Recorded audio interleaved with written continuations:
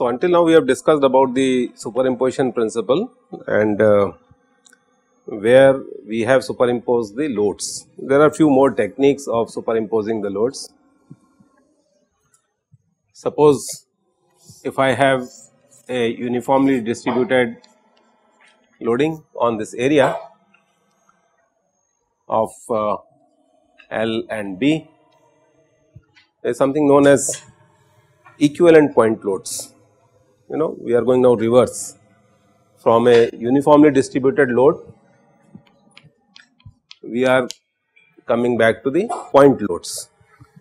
So, for the sake of convenience, I can break this in 4 parts and I can assume that the equivalent of Q is acting at this CG, at this CG, at this CG, at this CG.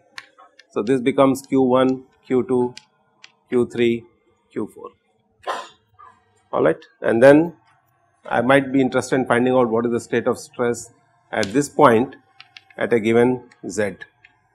So, this can also be solved very easily. I hope you can realize this. Alright. So, this is a reverse way. From Q we have converted into equivalent point loads. And then for equivalent point load I know what is the state of stress at a given point.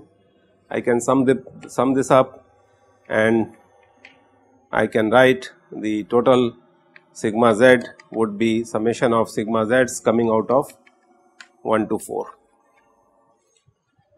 There is until now we have not discussed anything related to the negative loading is it not we have been talking about always positive loading. So, negative loading comes in the form of uh, when you create a inclusion suppose there is a soil mass and if I remove this much of the soil to create what? Suppose this is the rock hard strata, this is a soil mass alright and there is a load which is acting on the top of this. Now what we have done by removing this material we are creating a tunnel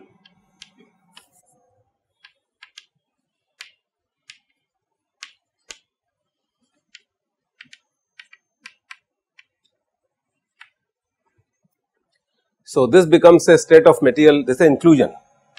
Now, suppose if I ask you to find out the state of stresses at different points going to be difficult. You can't use this concepts here now Boussinesq theory because this much of the soil mass has been removed alright. So, now you have to adopt to some FEM model or finite difference model or whatever advanced computation techniques. But suppose if I say that uh, we were talking about the ring beam if you remember. For the oil uh, tanks. So, in plan the oil tanks would look like this. You must have seen I am sure. They normally rest on a big pad. And this happens to be the ground surface. Normally we put a lid on the top of this. These are typically 30 to 45 meter high, huge structures and the diameters could be depending upon your requirements 25 meter to 60 meter to whatever. Now, as I said that most of the time these systems are going to be sitting on a ring beam alright. So, in plan the ring beam would look like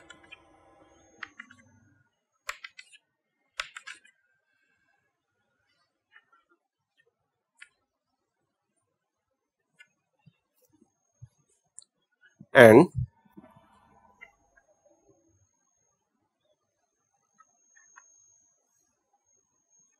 so it's a annulus. This is the portion on which the tank is resting.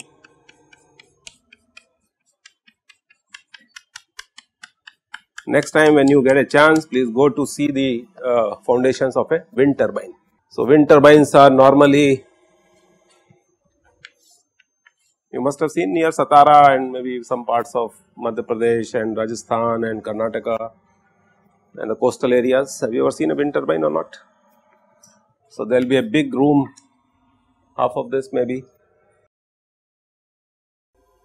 There will be a rotor here and this rotor will be containing a fan. So, this is what is going to rotate and then you generate electricity because of the rotation of the blades. Design of foundations is interesting because heights are approximately 50 to 80 meters, payloads are 250 tons. Imagine, I am not doing any mistake. Clear? And it is a sort of a fan which you use pedestal fans in your domestic uh, uses, alright, huge fan. What type of foundations would be required here? Massive foundations, 30 meter diameter, 40 meter diameter, rafts, thick units, you know, this will be about 7 to 8 meters thick, monolith, RCC. Then this fan is going to stand there. What is approximately 7 to 8 meter thickness of the raft? Any idea? Close your eyes. Normal room is 2 and a half to 3 meters. So, at least 2 times the size of the height of the room. Clear? This is what the foundation size would be raft. So, I am sure you must be realizing that the foundations are going to be extremely expensive part of these structures. Clear? And apart from the time you require a lot of material and lot of money to construct this. So, why I am linking these two things is this is a tank unit. Hydrostatic pressures are going to act. And hydrostatic pressures are going to act which is going to be dissipated in the hoop stress of the steel.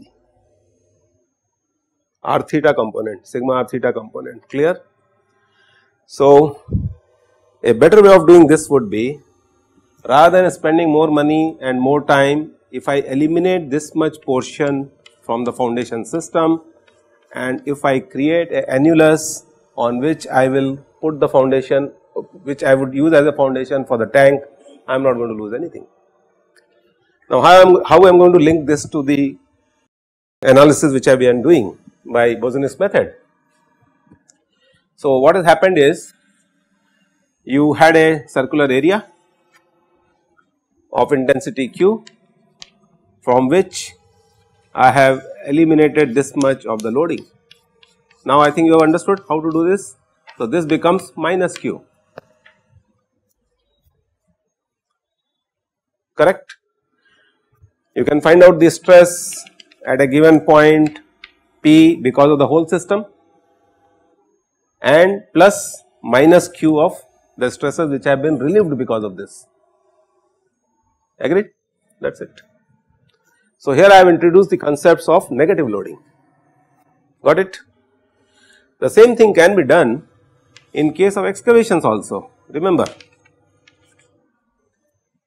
if I want to excavate something over here and if this was the loading Q and for some purpose I want to find out what is the state of stress acting at this point. This could be a sheet pile, this could be RCC pile whatever. So, because of this I want to find out the state of stress at this point where I have done excavation here. Technically I cannot use Boussinesq theory, why? It is not a semi infinite soil mass, agreed. So, what it should have been if you have to apply Boussinesq theory this would have been a semi infinite minus infinity to plus infinity clear. So, because of removal of the soil mass what we might do is we might apply a minus q over here and superimpose this with the stresses which are going to come. Are you getting this point? So, this is again a case of excavation, this is a case of creation of annular space, this is a case of creation of a cavity through which my metros will pass and so on. Is this concept clear? Suppose if I want to design pipes which are conveying water conduits, your data cables, fiber optic cables, petroleum and so on. Later on you will realize that these type of systems are either flexible or rigid. Now this is because of the material and the thickness of the wall of the pipe which you have considered.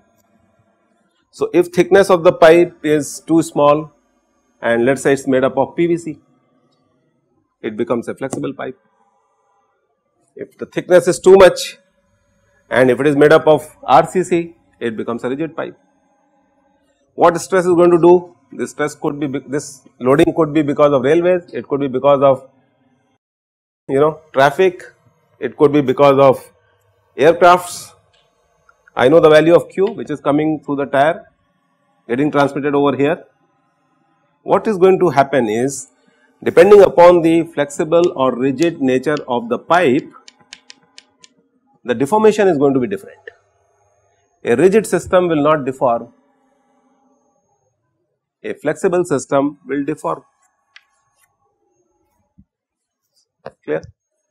The state of stress I have to compute. So, this part we will discuss again in the second course, strength of the materials, shear strength theory. But the way the stresses are going to be computed, the concept remains same. Is this part okay? So, I have talked about several issues, several problems. I hope you can now solve this. Few more complicated situations. Every time when you when you climb on a uh, bridge or a ROB, you must have noticed like our Kanjurmarg bridge. So, these bridges are you know this is the Kanjurmarg junction, this is from the IIT side let us say and this is towards the Gandhinagar or let us say Kanjurmarg. So, what you have observed is uh, they have created a retaining wall over here which gives you the elevation to come to the deck of the bridge. And again there is a retaining wall cannot be so steep. This is a distorted scale the walls the roads cannot be done like this. So, what I am trying to emphasize here is um, the moment this happens to be a RE wall reinforced earth retaining wall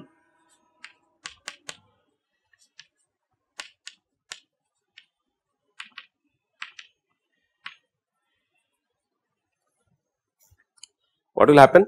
This is how the pressure will get exhibited of the soil mass itself and then I am interested in finding out the pressure at this point.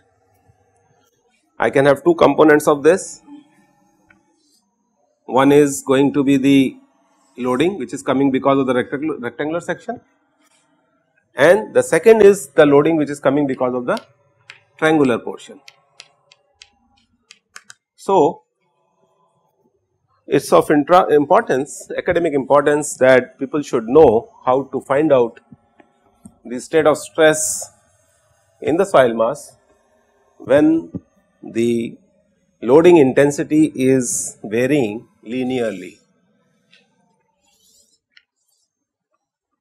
Okay. So, this is a similar situation as the one which I created over here uh, starting from value of q equal to 0 over a length of L, I achieve a maximum value of Q. So, would you be able to solve this? Any problems? Now, this is what is known as a triangular loading and the statement of the problem remains same. Find out the stress at a point P, this could be anywhere coordinates are known r z theta and find out the state of stress at this point.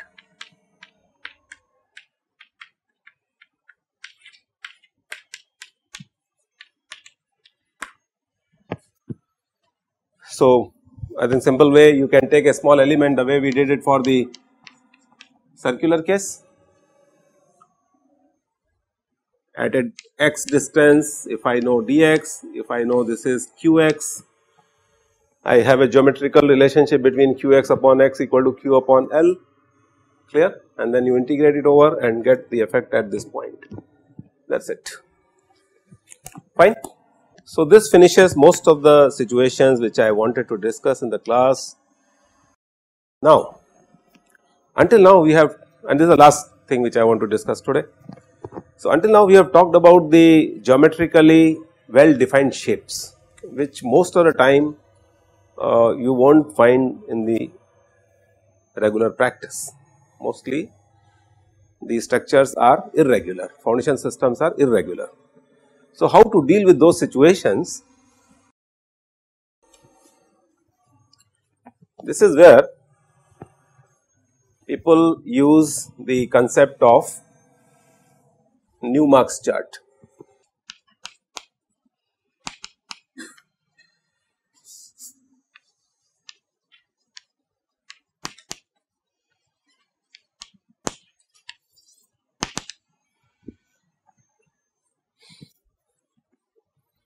It's a simple philosophy. Uh, what we do is uh, we define the state of stress sigma z as q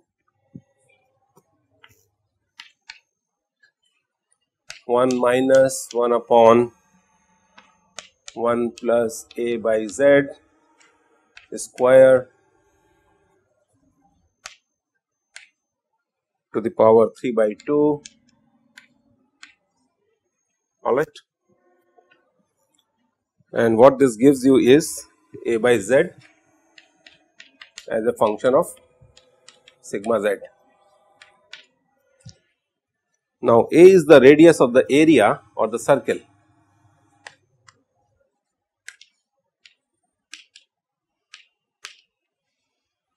Which is the Newmark's chart.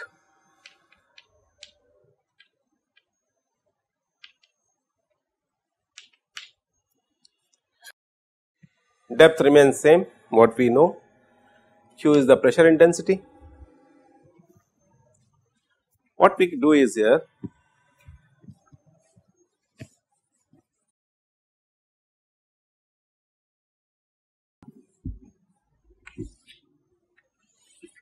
Suppose this is the whole area which is defined by this equation. Now, I can this is uniformly distributed let us say with the loading q. I can create here 4 radials 1, 2, 3, 4, 4 radials 1, 2, 3, 4 5 sectors.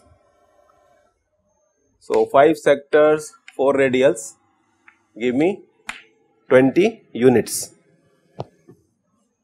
fine. That means I am assuming that each of this unit corresponds to the equal concentration of Q. So, what I can do is this Q gets replaced by Q by 20 this remains as influence factor IB. Okay. Now, normally these type of graphs are plotted for 200 units. That means, I have to draw now 10 circles.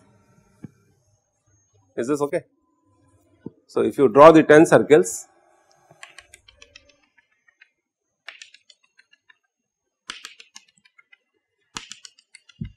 How many elements I have created?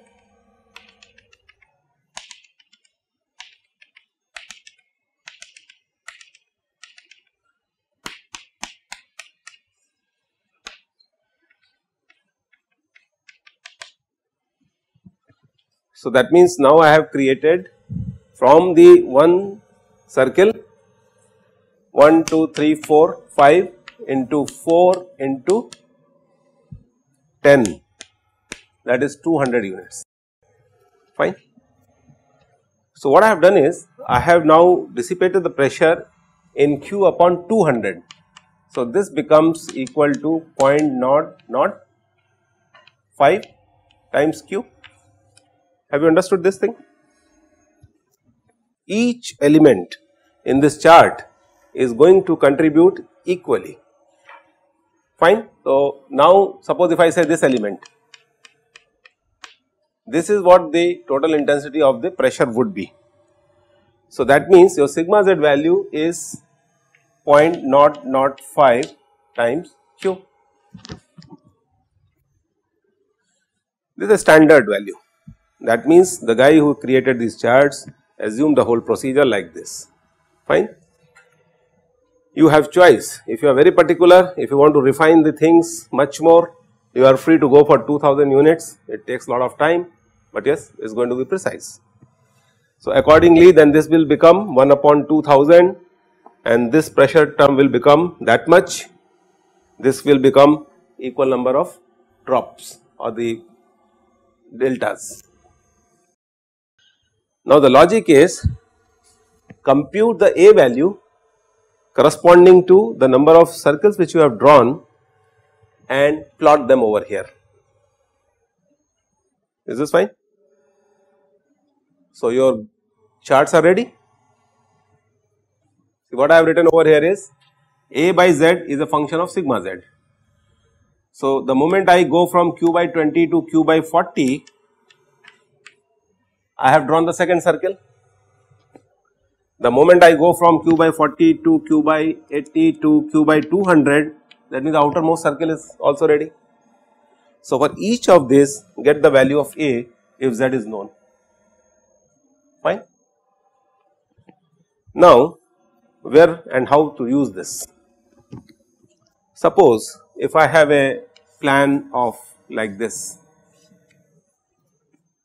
you can still debate that I can discretize it in small small parts and I can use either Fadum's chart or Boussinesq's equation yes you are free to do that no issues. So, you can discretize in small small parts, you can treat this as a segment, you can treat this as a segment, you can again do whatever we have done. Very complicated procedures particularly when you are doing big buildings. Clear. So, rather than doing all these things what people do is suppose if z is defined as 10 meters. I will take this equal to some unit of let us say 1 centimeter on the graph I will scale down the entire plan of the building to one tenth. My plan is ready. Suppose if I wanted to find out the state of stress at a given point in this building, I will lift it and I will superimpose it over here in such a manner that the point where I wanted to find out the stress matches with the center of this Newmark's chart. Okay. The last step is count the number of sectors which are included in this plan when you have superimposed it over here. Okay. Number of units multiplied by 0.005 times q is going to give you the total state of stress. Is this okay? I will show you typically how this is done. So, these are typical uh, Newmark's charts very useful for irregular shape buildings. This is the plan of the foundation which I have plotted on a tracing paper on a scale. This thing has been divided into 200 units. So, influence value or the IB value becomes 0.005 times Q. If Z is known what I can do is this whole thing which is to the scale can be shifted over here and find out what is the state of stress at a point O of your interest as simple as this. I will just write down few steps you just follow them you should be aware of you know how these type of things are computed. Uh, but in competitive exams yes they will ask you these type of questions so you should practice. So the steps involved are so suppose if I write down the steps for you sigma z by q and a by z and A. So, normally we do it for steps of 0.1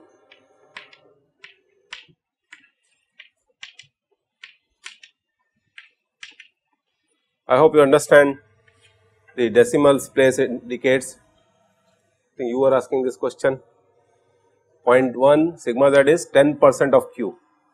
20 percent of q 30 percent 40 50 60 70 80 90 and 100 percent alright.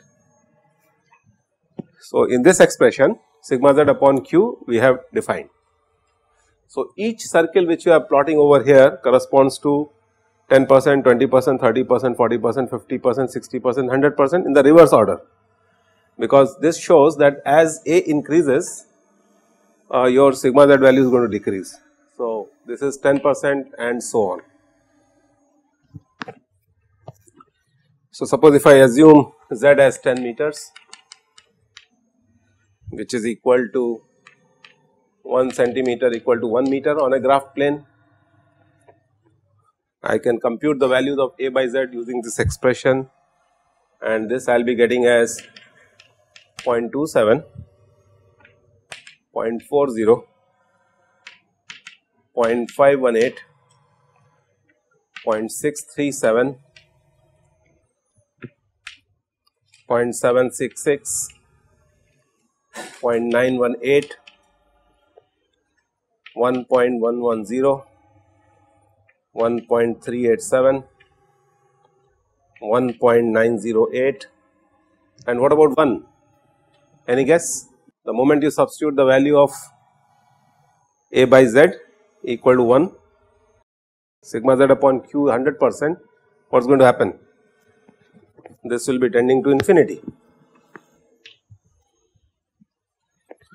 and then you can compute A values from here. So, this will be 0, 2.7, 4.0, 5.18, 6.37 these are the radius of the concentric circles.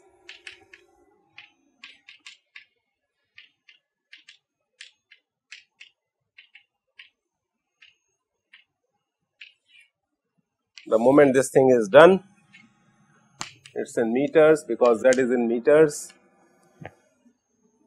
1 meter is equivalent to 1 centimeter and hence you can draw the circles and you can compute the value of sigma z.